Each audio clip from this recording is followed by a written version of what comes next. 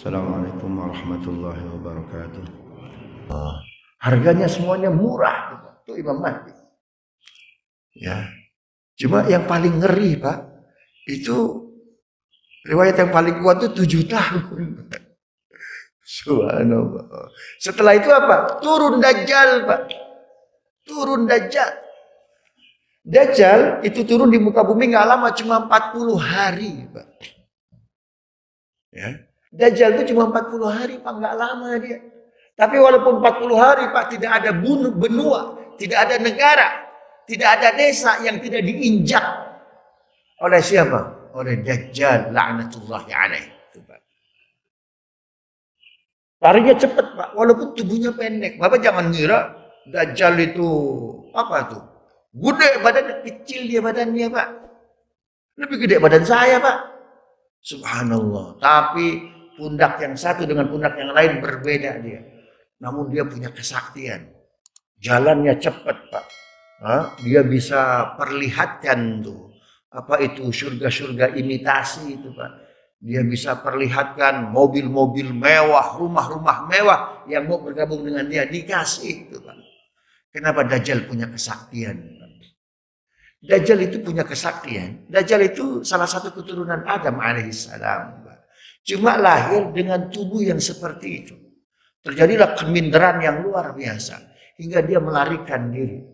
Lalu diajarkan oleh seorang kakek tua Pak. Ditarbiyah. Ya, ditarbiyah sehingga menjadi uh, orang baik. Namun tetap Pak, dia tetap minder. Akhirnya apa? Dia melemparkan dirinya ke laut. Pada saat itulah Allah mengutus Jibril. Jibril. Anak muda, anak ini, anak kecil ini, ajari dia. Sehingga diajari Pak oleh Jibril. Dajjal ini Pak, kalimat-kalimat tauhid. La ilaha illallah. Muhammadur Rasul. Muhammad sudah ada Pak. Ya, dari apa pelajaran. La ilaha illallah. Muhammadur Rasulullah sallallahu alaihi wasallam. Diajari Pak oleh Jibril Pak. Sehingga Dajjal itu menjadi laki-laki yang bertauhid. Selesai itu Pak, Dajjal diajari oleh Dijil, oleh diajari oleh Jibril alaihissalam, tinta yang digunakan oleh Jibril alaihissalam Pak mengajari Dajjal tertinggal Pak. Ya, tinta itu tertinggal, tinta ajaib atau sebut dengan tinta emas. Ya, bahasanya hibrul uh, hibrul zahab, tinta emas yang dipakai oleh Jibril alaihissalam mengajari Dajjal itu tertinggal. Akhirnya Jibril ke langit, tinta tersebut diminum oleh Dajjal. Dari situlah Dajjal punya kesaktian, Pak. Jadi tinta yang ditulis la ilaha illallah, Pak, diminum oleh Dajjal, Dajjal jadi sakti itu, Pak. Tapi kesaktiannya dia salah gunakan. Subhanallah. Bapak nggak mau belajar la ilaha illallah jadi orang sakti itu, Pak. Ya, akhirnya Dajjal punya kesaktian tuh, Pak. Karena punya kesaktian, dia merasa sombong. Ya, dia merasa arogan, dia merasa angkuh tuh Pak tuh. Kenapa? Dia berkeliaran di seluruh laut, Pak. Uh, rupanya aku sakti ya. Bisa berenang begitu cepat, bisa lari begitu cepat. Akhirnya Allah Subhanahu wa taala mengutus malaikat-malaikat hebat, rantai dajjal. Rantai dajjal. Maka ketika itu Allah Subhanahu wa taala mengutus Jibril beritahu kepada Adam, agar dia menceritakan kepada anak cucunya akan datang nanti seorang anak muda yang beda fisiknya yang tertulis pada jidatnya kalimat kafar yang hanya bisa dibaca oleh orang-orang yang beriman. Beritahu oleh Adam kepada anak cucunya akan datang dajjal nanti di akhir zaman sebagai fitnah terbesar.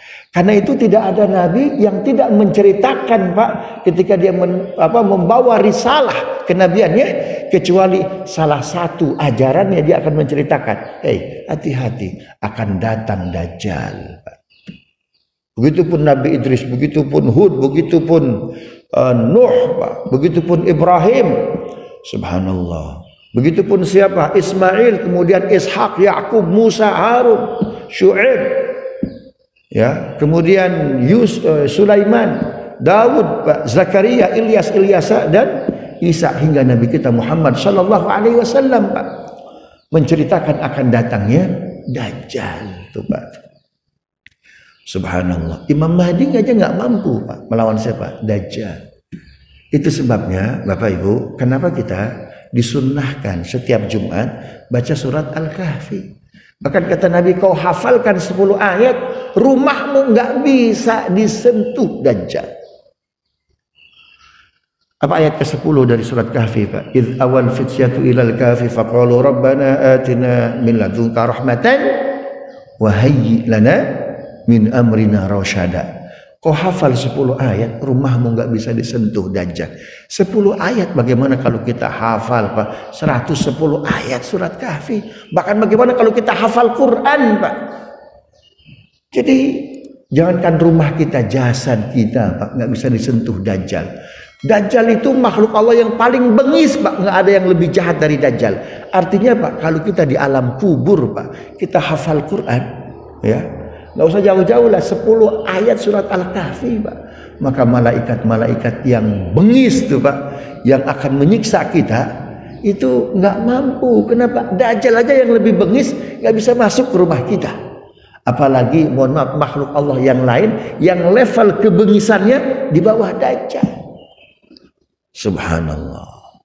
Bapak tiba di kuburan. Orang lain pulang ke rumah masing-masing kita baru paham bahwa kita sudah wafat, Pak. Bumi gelap, ya, kuburan gelap dan sempit, Pak. Maka yang akan membantu kita menerangi kuburan, melapangkan kuburan hanya Al-Quran. Ja'al Quranu hujjatuh.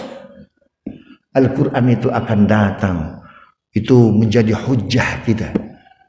Engkau diwafatkan akan dihitung berapa ayat yang kau baca. Berapa kali kita khatam Quran, Pak? Subhanallah. Harusnya kita yang rajin baca Quran, Bapak Ibu, apalagi yang hafid itu ya. Ya, rumahnya aja nggak bisa disentuh dajjal. Apalagi kalau hafal 11 ayat, hafal surat Al-Kahfi, hafal Quran, Pak. Maka nyamanlah di kuburan itu, Pak.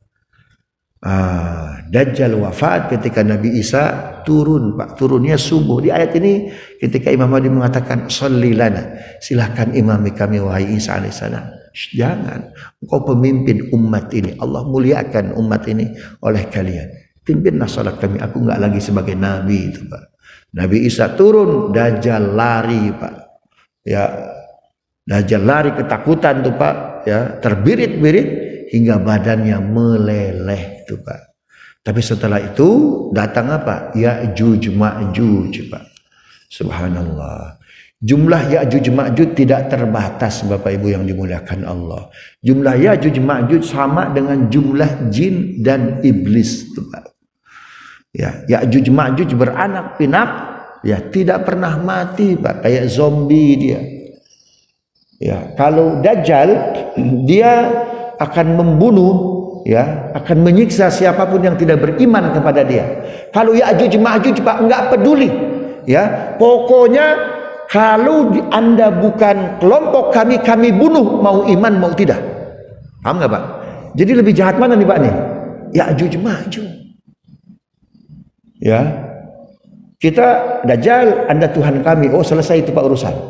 Ah, maka akan dikasih rumah palsu, rumah palsu, surga palsu itu pak. Jadi tujuh tahun itu adalah masa booster keimanan pak. Paham nggak?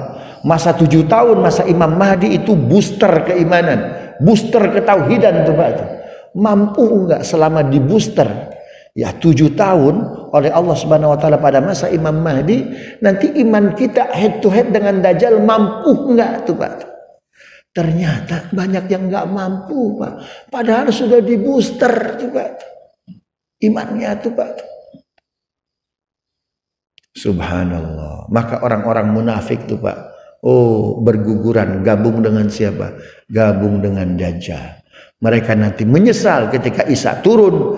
Ya, ternyata Dajjal itu apa yang dia janjikan hanya kepalsuan saja tuh Pak. Hanya kebohongan saja, kedustaan saja. Maka di situlah kalau yang umurnya panjang ngeri betul tuh Pak.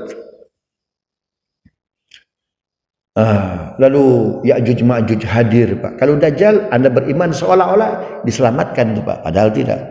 Tapi kalau Ya'juj Ma'juj selama Anda bukan kelompok kami, bukan Ya'juj Ma'juj, maka Anda kami makan tuh Pak. Dihabisi tuh Pak. Itu kayak zombie. sampai umat Islam ketika itu jumlahnya nggak banyak Pak. Ada yang mengatakan 250, ada yang mengatakan cuma 50 orang yang tersisa Pak. Ya, yang tersisa. Ya, Imam Mahdi dan Nabi Isa alaihissalam itu yang tersisa dalam riwayat cuma 250. Ya, yang lain ke mana? Wafat dan syahid tuh Pak. Ada yang mengatakan 50, yang 50 ini selamat kemudian eh, apa itu lari menyelamatkan diri ke mana? Ke Bukit Sinai tempat yang lebih tinggi itu Pak. Kenapa? Karena zombie Ya'juj Ma'juj dia tidak bisa naik ke tempat yang lebih tinggi itu Pak.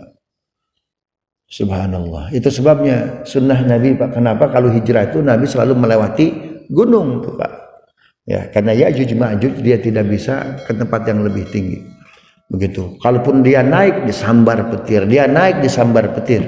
Subhanallah. Ini hari ini Pak mereka ngebolongi apa itu benteng yang dibangun oleh siapa? Benteng yang dibangun oleh Zulkarnain. Ya, di mana posisinya di timur. Ya, antara Ukraina dengan Rusia Pak. Kalau kita nengok riwayat yang sahih itu Pak ya. Makanya ngeri Pak hari ini Ukraina lagi diserang sama siapa nih Pak nih?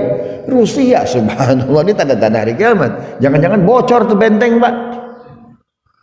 Itulah jeda antara alam Ya'juj Ma'juj dengan alam kita, Pak. Ya. Kalau benteng itu bocor, ya sebetulnya mereka benteng itu tinggi sekali, ya lebarnya 100 meter itu, Pak. Itu mereka sebetulnya satu dengan yang lain saling apa itu? Naik. Bapak tahu kalau 17 Agustus ada orang naik apa tuh? Oh, naik panjat pinang tuh, Pak ya yang satu naik ke mana tuh? Ke pundaknya kemudian naik lagi naik lagi naik lagi. Itu mereka hampir lewat. Ketika hampir lewat Allah kirim petir jeleger jatuh jeleger jeleger subhanallah. Tapi mereka ketika mendengar tuh Pak Dajjal mati Pak oh maka dia akan menggantikan posisi Dajjal sebagai makhluk yang bengis tuh Pak. Subhanallah. Kalau ada orang masuk Islam karena melihat Dajjal Pak Siapa dia? Tamim Ad-Dari. Seorang Nasrani ahli Injil. Pesawatnya terdampar di laut Syam. Ya, hingga dia melihat makhluk namanya uh, apa itu? Uh, Jashush itu Pak ya, yang semua dari kepala sampai kakinya rambut, ketakutan dia. Kau pergi ke lubang sebelah Ternyata Dajjal Pak sedang dirantai kakinya, sedang dirantai tangannya tuh Pak di satu. Ditanya, itu Nabi terakhir akhir zaman sudah ada belum di Madinah? Kata Tamim Ad-Dari, apakah yang Anda maksud Muhammad? Iya. Iya. Apakah dia sudah ada di Madinah? Sudah. Berarti sebentar lagi saya keluar. Jadi pada masa Nabi saja Dajjal mengatakan apa? Kalau Muhammad sudah ada di Madinah, sebentar lagi aku keluar. Sekarang ketika Nabi datang di Madinah, jangan hari ini Pak, berapa tahun Pak? Hah? 1443 tahun Pak. Subhanallah, udah lama Pak. Ini jangan-jangan nih rantai dajjal ini cuma tinggal satu lagi yang belum terlepas tuh Pak tuh. Tangannya udah terlepas, tinggal apa nih? Kaki jangan-jangan. Itu Nabi akhir zaman sudah tiba belum di Madinah. Apakah yang Anda maksud Muhammad? Iya. Kalau demikian sudah. Subhanallah. Itu sungai Tiberias. Sudah uh, surut belum airnya? Belum. Sudah. Bapak pernah melihat sungai Tiberias? Siapa yang pernah ke Aqsa? Pernah mampir enggak? Harusnya bisa mampir. Ada airnya enggak Pak? Dikit lagi Pak. Allahu Akbar.